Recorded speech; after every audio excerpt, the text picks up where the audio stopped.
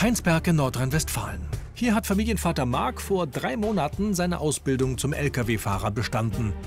Nach jahrelangem Kampf um jeden Cent sollte es für ihn und Manuela endlich aufwärts gehen. Doch die Familie hat sich mit Neuigkeiten gemeldet. Wie geht's dir? Ja, uns geht's im Allgemeinen aktuell gar nicht gut. Aber jetzt gerade wollen wir erstmal frühstücken und dann alles besprechen und dann schauen wir mal, wie das hier so weitergeht. Ne? Kurz gesagt, was, was, was, warum geht's euch nicht gut? Kurz gesagt, äh, Job verloren, neu angefangen, Job verloren. Beide haben jetzt gar keinen Job mehr. Wir stehen da mit nichts, kein Geld, äh, Lebensmittelgutschein und wissen nicht mehr, wo vorne und hinten ist. Ein extremer Absturz in nur drei Monaten.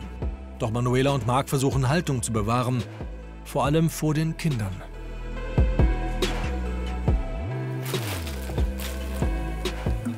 Haben wir noch Teewurst? Teewurst? Ja, haben wir auch noch. Soll ich das holen? Ja, gerne. Doch was ist genau passiert? Manuela hat zuletzt als Beraterin im Homeoffice gearbeitet. Dann verliert Tochter Melina den schon zugesagten Kita-Platz. Hinzu kommt, dass Sohn Mason oft krank ist und Manuela dann nicht arbeiten kann. Als ich die Stunden kürzen musste, weil wir die Absage für Melinas Kindergarten bekommen haben, ähm, da fing es an, dass wirklich alles den Bach runterging. Da Marc als Lkw-Fahrer Vollzeit beschäftigt ist, muss sich Manuela zusätzlich noch um die Kinder kümmern. Ein Spagat zwischen Teilzeitjob und Muttersein, den ihr Arbeitgeber abrupt beendet hat.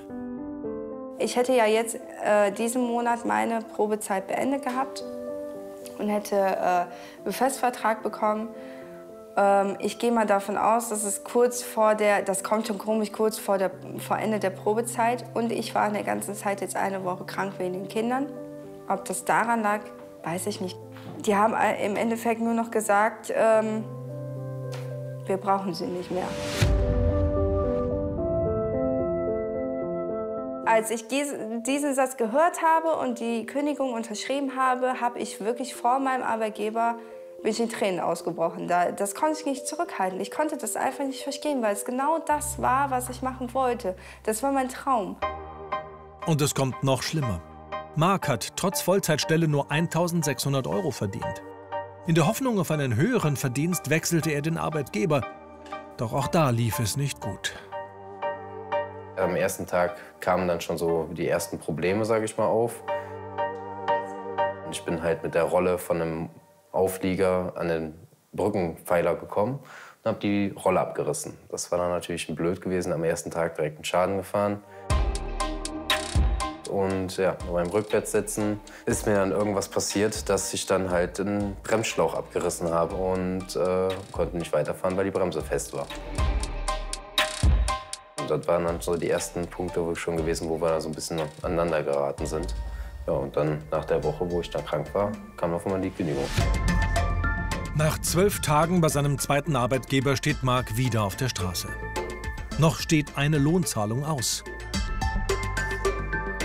Aber wie viel du da jetzt noch bekommst, kannst du nicht einschätzen. Nein, nein, gar nicht. Es sind ja jetzt im Endeffekt drei, drei, vier Tage, die jetzt dann noch von dem Monat bezahlt werden. Mhm. Also werden vielleicht zwei, drei, 200, 300 Euro sein, also nicht viel. Jetzt aktuell, so wie es jetzt ist, mag kein Job, ich kein Job, Miete zahlen, nein, können wir nicht. Deswegen haben wir jetzt den ersten Monat dem Vermieter gesagt, wir können nur die Hälfte der Miete zahlen.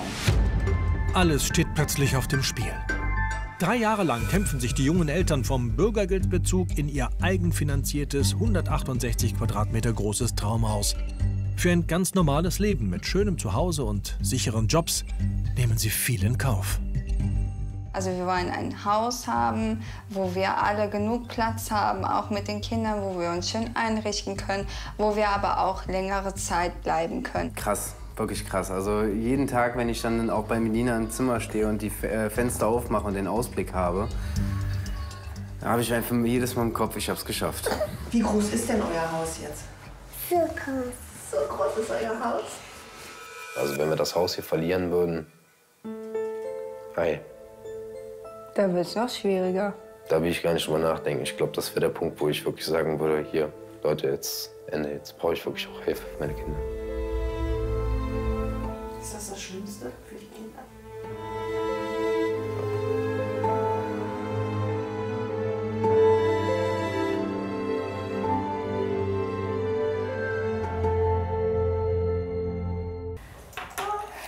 So, Ausgaben. Fangen wir mal mit der Miete an. Sind 1200. Wir bemühen uns ja wirklich, dass da wieder was Neues an Land kommt und alles und Bewerbungen. Pass auf, Schatz. Ja, hat Ähm, eben auch gemacht. Wir schreiben ständig Bewerbungen, telefonieren und alles und äh, machen Vorstellungsgespräche. Jetzt vor kurzem hatte er ein Vorstellungsgespräch in Holland. Und das ist gut gelaufen. Mark hat einen Arbeitsvertrag bekommen, der ihm 17 Euro Stundenlohn garantiert. Schon nächsten Monat kann er als Lkw-Fahrer anfangen. Doch es gibt ein Problem. Der Vertrag gibt kein Festgehalt an. Deine neue Arbeit können wir schätzen ungefähr. Du weißt ja deinen Stundenlohn. Die Regel sind äh, 40 Stunden Arbeitwoche und Also ähm, 160. 160, aber alles was drüber ist, wären äh, dann Überstunden. Aber Ja, ja. Wie das dann jetzt geregelt wird, das muss ich dann halt jetzt kurz, bevor es dann wirklich da richtig losgeht und auch wirklich zum Abschluss kommt, muss ich das mal klären.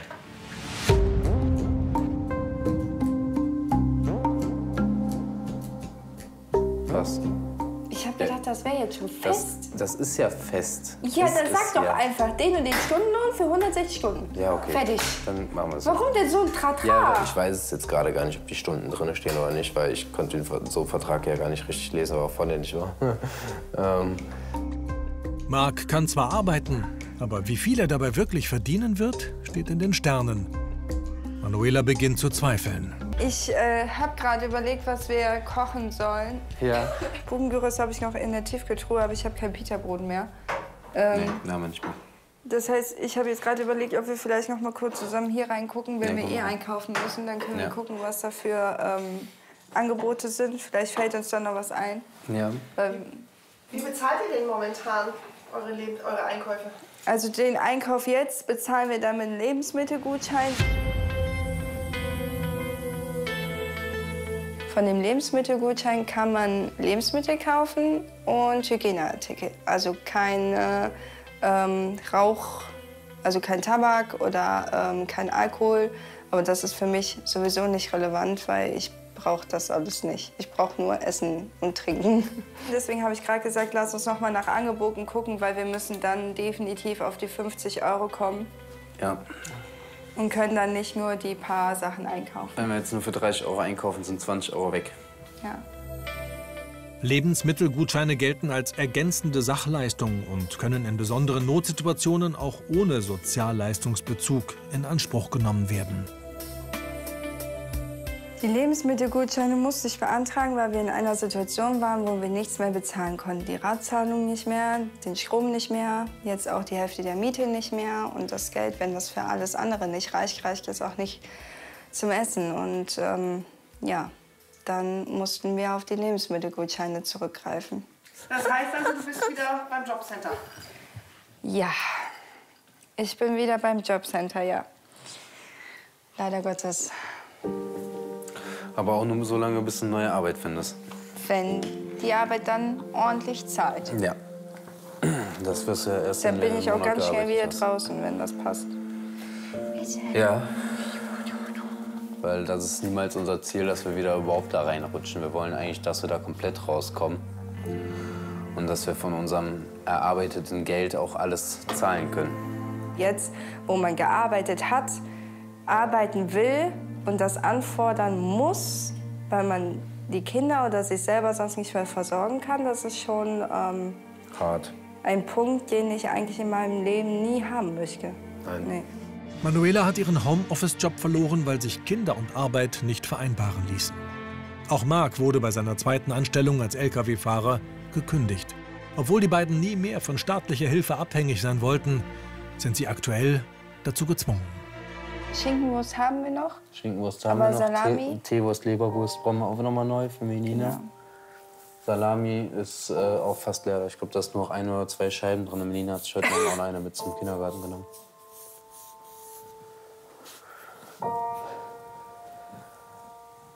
Aber da kann ich jetzt äh, keine Preise hinterschreiben, weil ich jetzt aus dem Kopf nicht weiß, wie teuer das ist. Ich glaube, Salami war auch 1,48 oder so mittlerweile. Also eigentlich lohnt sich das nicht, das jetzt zusammen zu rechnen. Nein. Weil, Dann ähm, weißt du nur grob, was da jetzt ja. aus dem Prospekt das kostet.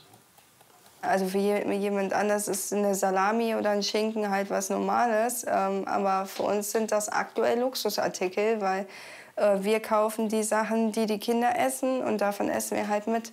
Wir kaufen keine gesonderten Lebensmittel mehr für uns. Trotz bestandener Ausbildung von Marc bleibt die Arbeits- und damit auch die Einkommenssituation ungewiss. Ohne Hilfe vom Staat könnte die Familie gerade nicht überleben. So sieht der aus. Der ist jetzt ein bisschen ramponiert, weil er in meiner Tasche war. Aber äh, da steht halt drauf 50 Euro und für wen er ist. Monat April, wenn wir den jetzt auch im April nicht benutzen, dann würde er auch verfallen. Also dann sind die 50 Euro weg. Ja.